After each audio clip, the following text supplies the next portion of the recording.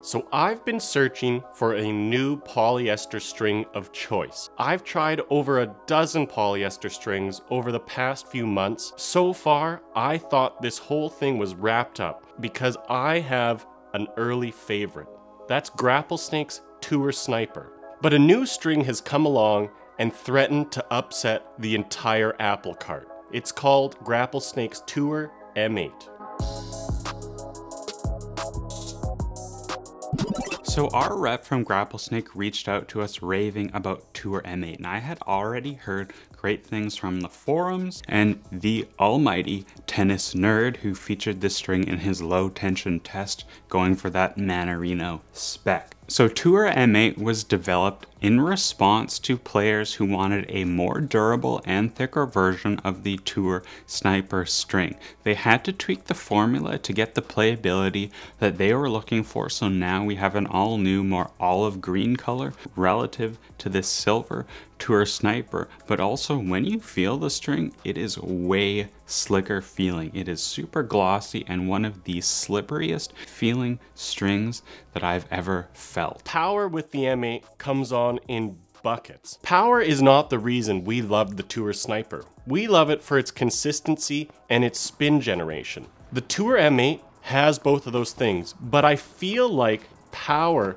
is a step up from the Tour Sniper. And when I had it in my rackets at the usual 52 pounds, I felt like it just had a little bit extra pop.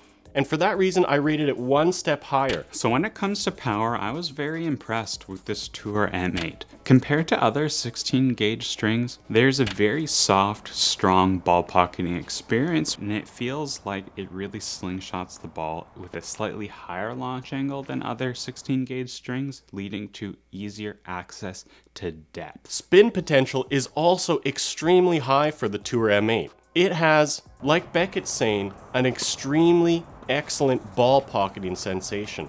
And that leads to it gripping and ripping the ball in a way that you just wouldn't expect from a string that's this thick and this smooth. I gave it a 7 out of 10 as well, and that's a really strong score for a string like this. I don't think spin is its mission really, but it still accomplishes it in a really strong and compelling way.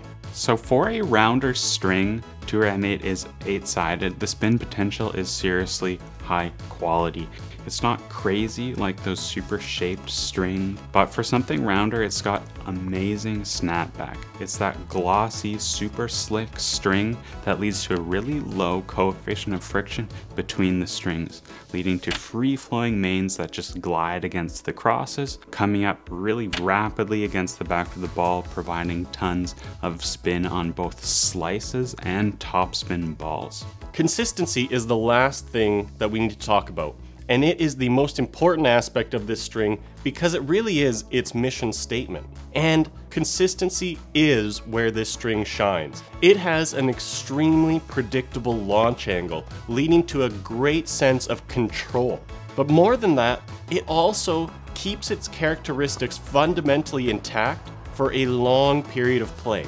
I know I don't hit the hardest shots, but I was still getting up to 20 hours of play with this string in my racket. If there's one thing that needs to be said about the Tour M8, at the end of its life, it really does come to a screeching halt. Unlike any other string I've played with so far, it has a black and white moment, a horizon where you have gone too far and suddenly it goes from feeling like a great string to play with to something that's completely bagged out and you need to get it restrung immediately.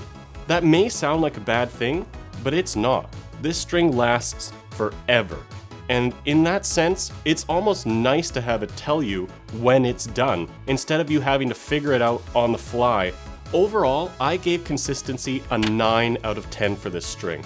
The highest I've given any string so far. Consistency is the final and arguably most impressive part of this string. Yes, it does have a slightly higher launch angle than some other 16 gauge strings, but that launch angle is really consistent, regardless of where you impact the ball on the string bed, getting a consistently medium launch angle off the string bed in that 1.30 millimeter gauge. Now the last thing I want to talk about is a low tension test. One of the big things our Grapplesnake rep was raving about was how well Tour M8 performs at low tension. He recommended I start in the low 40s, so bam, 40 pounds, took it to my stringer K8 Peter, as we know, he's the man, and right out the gate, it played amazing. I really like the string at 40 pounds. It's definitely one of the better feeling strings at low tension. That low tension just almost exacerbates that amazing ball parking effect, and it takes advantage of that great consistency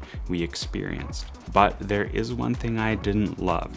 After the tension kind of settled and dropped, which all polys will do after your first hit, it felt like the strings were bottoming out or something, the same way that when you go over a big bump in a car, your suspension bottoms out. It felt like that ball pocketing experience was bottoming out. This led to like a slipping sensation where the strings weren't quite gripping the ball because they had reached the bottom of their ball pocket, but also a harshness at the end of a fully sunken in impact. It was like when you sit on a chair that has a thick cushion, but then like a piece of plywood underneath, so it's like soft hard.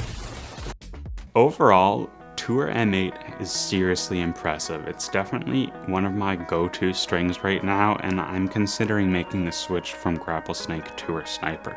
This is definitely a string I recommend trying in almost any racket. It would be great in a hybrid too. We do have an affiliate link down below. You can get 10% off with that link and we get a little bit of money too, which just helps the gears stay greased here at TennCom Media.